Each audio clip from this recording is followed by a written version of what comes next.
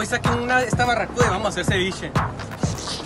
Esta barracuda pesa 8 kilos. Ok, Rosa, aquí ya estamos en mi casa para la preparación de este filetito de barracuda. Ahora vamos a desmenuzar el pescado. Tengan cuidado porque puede haber espinas. No.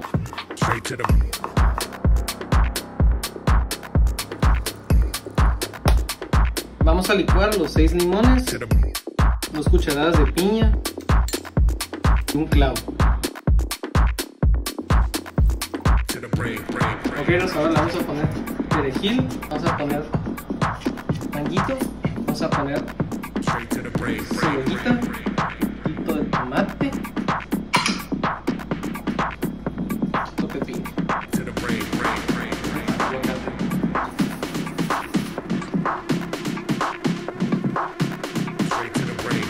Ya con la tostada a probar. Está súper bien.